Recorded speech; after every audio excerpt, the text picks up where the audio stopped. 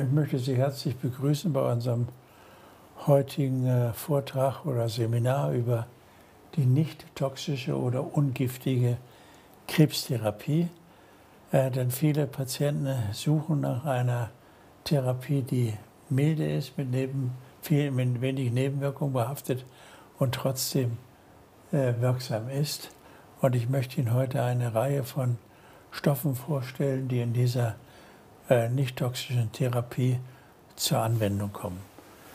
Äh, Sie haben äh, sicherlich meinen Vortrag über die metronomische Tumortherapie gehört und da habe ich Ihnen ja ein Verfahren vorgestellt, das ebenfalls sehr wirksam ist bei fast allen Tumorentitäten, also Tumortypen und relativ wenig giftig ist. Ich darf hier nochmal ähm, die wichtigsten Aspekte der metronomischen Chemotherapie wiederholen. Es ist nämlich ein Paradebeispiel einer nicht giftigen oder wenig toxischen Tumortherapie. Und zwar hemmte die metronomische Tumortherapie die Bildung von Gefäßen, von Tumorgefäßen und hat damit einen direkten äh, ähm, Effekt auf das äh, Tumorgeschehen. Dann äh, es reduziert äh, vor allem die regulatorischen T-Zellen oder T-Rex und das, damit hat es eine direkte positive Wirkung auf das Immunsystem, was nämlich dann wieder arbeiten kann. Und dann hat es natürlich eine direkte Wirkung auf die Tumorzellen. Das heißt, es ist genau wie die hochdosierte Chemotherapie zytotoxisch.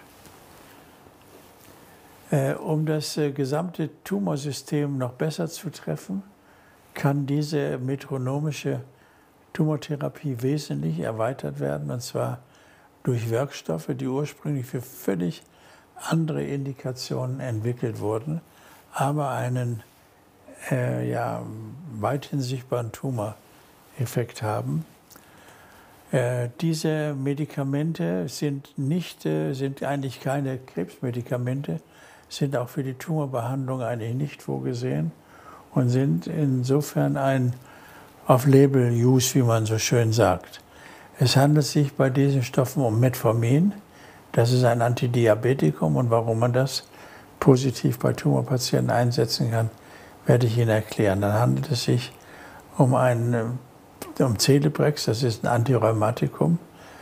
Dann Cimetidin, das ist ein Magenmittel. Naltrexon ist ein Opioid. DHEA, ein Hormon. Dicloacetat, DCA, ein Mittel zur Wasseraufbereitung. Dann Prokain ist ein lokales Anästhetikum. Aspirin, ein Schmerzmittel. N-Acetylcystein, ein Schleimlöser. Digitoxin, ein Herzmittel. Und dann kommen die Beta-Blocker Statine auch noch in Frage für die nicht toxische Tumortherapie. Und schließlich sind es die Naturstoffe äh, Kurkumin, äh, dann Indol-3-Carbinol, das ist ein, ein Stoff aus, aus Kohlgemüse, aus Kreuzblütlern, Quercetin aus äh, Zwiebel- und Apfelschalen und Artemisinin aus der Artemisia. Das heißt, Sie sehen, diese Stoffe, die sind äh, auf dem Markt äh, oder erhältlich. Metformin ist seit 30 Jahren in der Diabetesbehandlung eingesetzt. Man kennt also die Wirkung und auch die Nebenwirkung. Celebrex ist ein weit verbreitetes Mittel zur Schmerzbehandlung bei äh, Rheuma.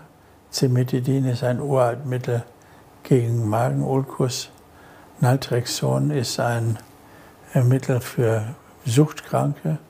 DHEA ein Hormon. Das heißt, äh, Sie sehen, das ist breit gefächert und das ist natürlich die Frage, was machen die denn im Tumorgeschehen und warum kann man diese Medikamente äh, benutzen, um sozusagen eine erfolgreiche Tumortherapie durchzuführen.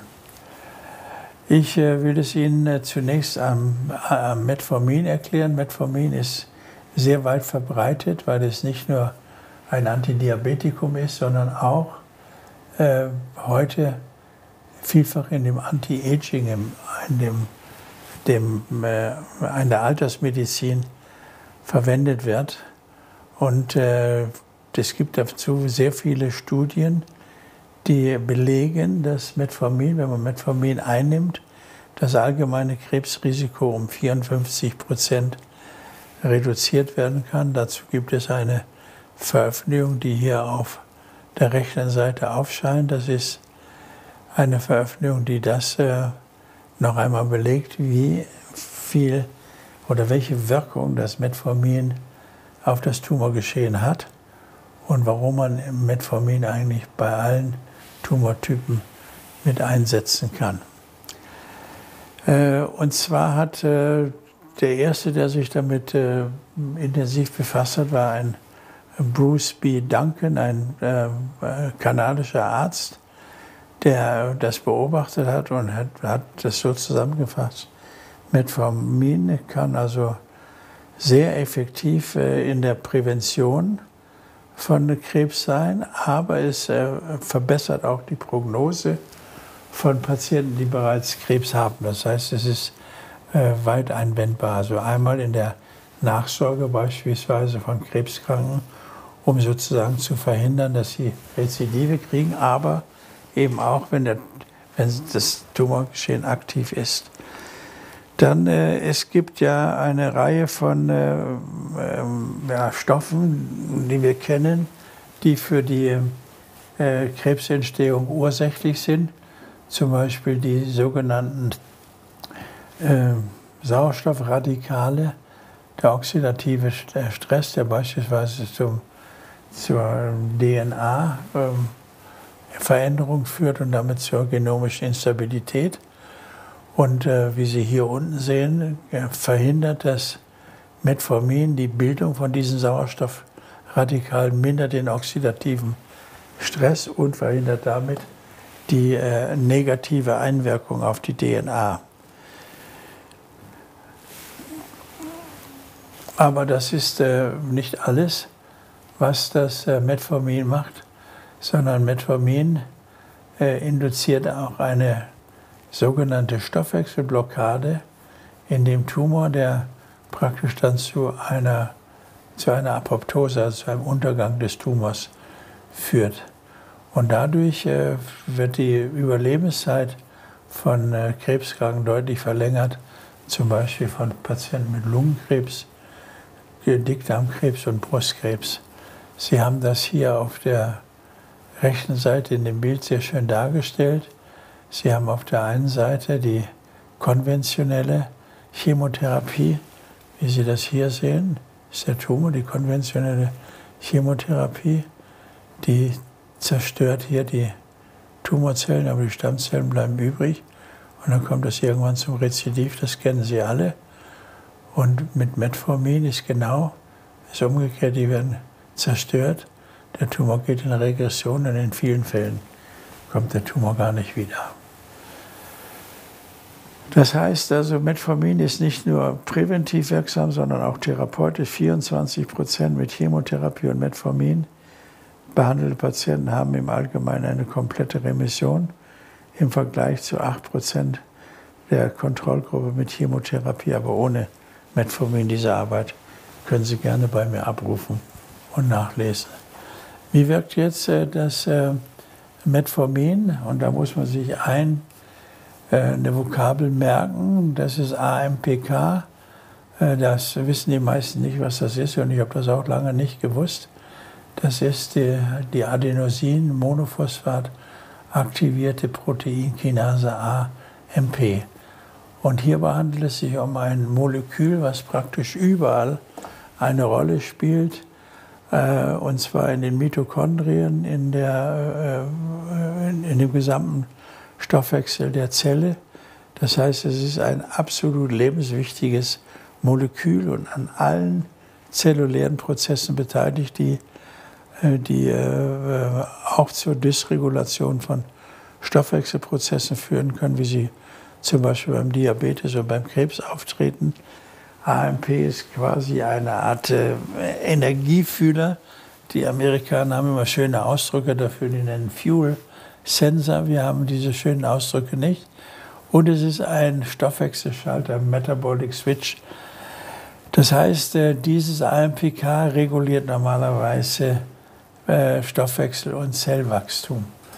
Dann haben wir hier ähm, ähm, noch einmal, wo es überall eingreift.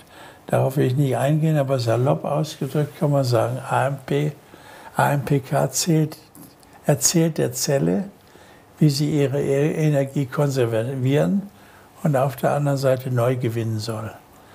Das heißt, sie erkennt und reagiert auf Änderungen des zellulären Energieniveaus.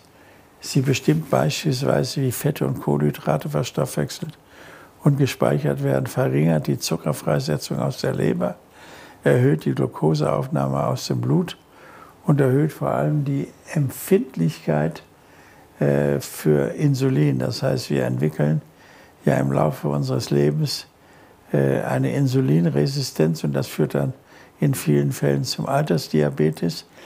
Beim äh, Krebs ist es auch so, dass die Tumorzelle über Insulinrezeptoren verfügt. Okay. Äh, hier haben Sie äh, nochmal die Wirkung auf diese so wichtigen äh, Stoffwechselschalter AMPK. Und wenn der also aktiviert wird durch das Metformin, dann haben wir eben auch praktisch eine äh, Angiogenesehemmung. Das heißt, es ist ähnlich, wie wir es bei, dem, bei der metronomischen Tumortherapie schon gesehen haben. Dann, äh, äh, was machen wir da? Das können wir übergehen, das ist ein bisschen kompliziert, das Bild. Hier haben wir das äh, eigentlich nochmal ganz schön dargestellt, äh, was das Metformin macht. Das Metformin hemmt also praktisch hier die Freisetzung von Sauerstoffradikalen und hemmt damit sozusagen die Energiebildung, was dann letztlich zum Tod des Tumors führt. Das heißt, der Tumor verhungert eigentlich im, im Gegenwart von Metformin. Und das Gleiche gilt äh, hier und die Leber wird also praktisch auch nicht richtig versorgt, sodass es zu einem Energiestress kommt. Die Leber schreit und das führt dazu, dass AMP vermehrt gebildet wird und dass dann als Gefolge äh, dieser vermehrten AMP dieser positive Effekt zustande kommt. Hier haben Sie äh, nochmal ein schönes Bild, was ich ja nicht sehr mag, weil es sehr einfach ist. Sie haben hier Metformin und Sie sehen, dass Metformin über bestimmte Schleusen in der Zellmembran hier in der Zelle das AMP aktiviert. Das AMP haben wir ja nun schon gelernt, was es alles macht. Das hemmt dann hier beispielsweise diese Signalkette und dann kann die nicht mehr Proteine bilden und der Tumor geht kaputt. Metformin wirkt aber auch hier unten noch einmal, sodass also praktisch zwei Blockaden in diesem äh, Ablauf sind. Dann wirkt das Metformin direkt auf die Leber im Sinne der Steigerung von AMP, was ich Ihnen, äh, AMPK, was ich Ihnen schon gezeigt habe. Das heißt, die Glukosebildung, die Gluconeogenese wird gehemmt und dadurch kommt es zu einer Verminderung des zirkulierenden Insulin. Und wenn das Insulin fehlt, dann kann beispielsweise Glucose über den Insulinrezeptor nicht sehr gut in die Zelle eingeschleust werden. Das heißt, wir haben eine ausgesprochen interessante Wirkung von Metformin auf den Stoffwechsel und vor allem auf den Tumorstoffwechsel. Und damit führt das äh, Metformin über das AMPK eben zu einer, einer deutlichen Verminderung des Tumorwachstums. Äh, das heißt, der Antikrebseffekt, so kann man es formulieren, von Metformin, einem Antidiabetikum, was man auf ein normales Rezept aufgeschrieben werden kann, ist direkt auf den Tumor durch eben die Verknappung des Energieangebotes und indirekt äh, mit dem Medikament assoziiert, dass weniger Glucose äh, zur Verfügung steht und damit ein gewisser Hungerzustand in der Tumorzelle auftritt.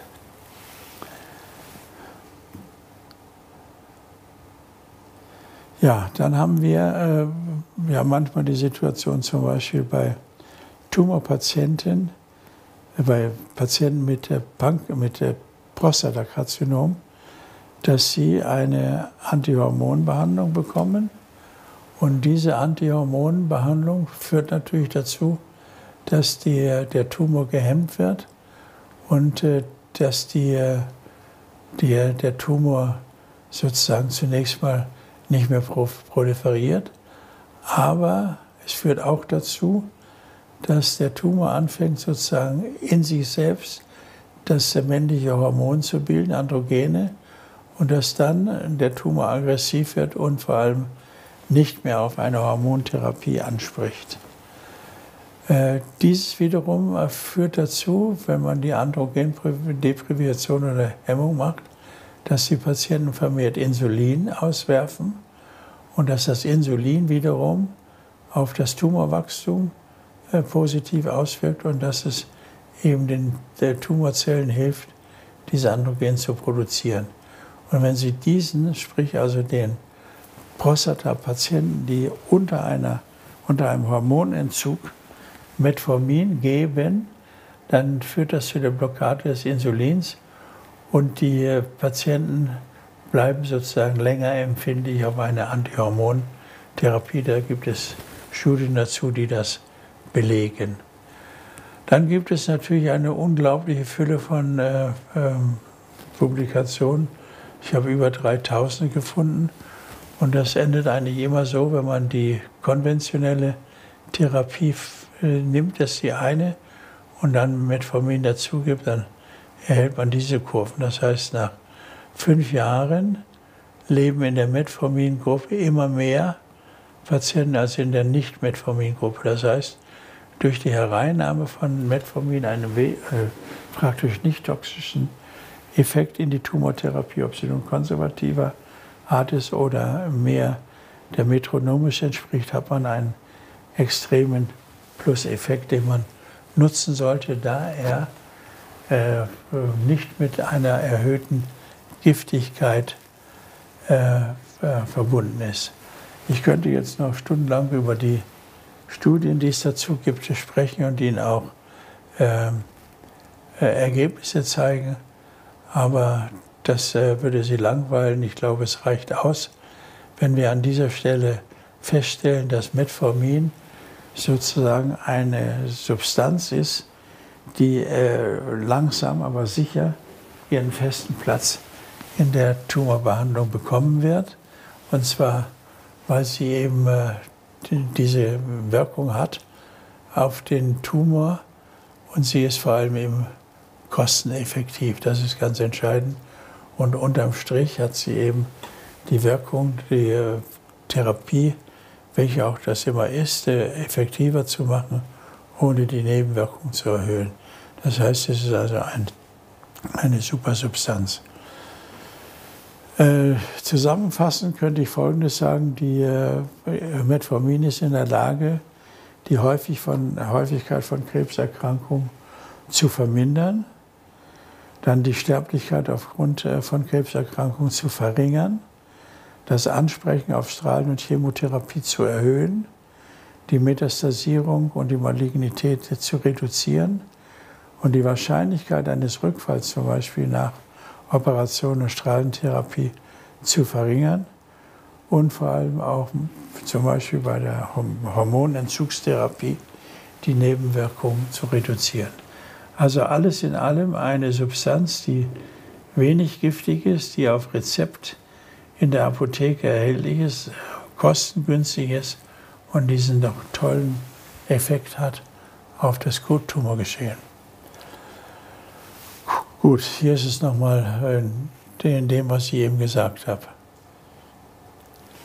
Dann äh, möchte ich an dieser Stelle, ich liebe diesen Spruch, äh, sagen, Dummheit ist nicht wenig zu wissen, auch nicht wenig wissen wollen. Dummheit ist Glauben genug zu wissen. Und das ist leider sehr weit verbreitet unter den Kollegen, dass sie glauben, alles zu wissen und sich mit solcher Substanz wie Metformin nicht ausreichend beschäftigen und deren Wert für, die, für ihre Patienten erkennen.